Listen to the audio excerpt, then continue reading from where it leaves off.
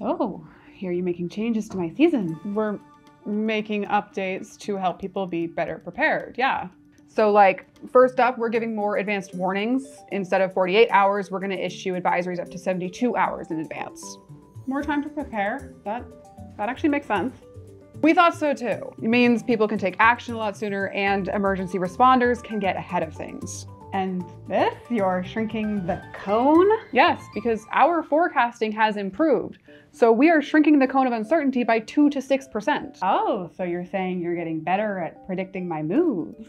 What else? What other improvements are you making? Oh, you'll love this. We are also reminding people that your impacts extend outside of the cone. So that hopefully means that people won't underestimate you anymore.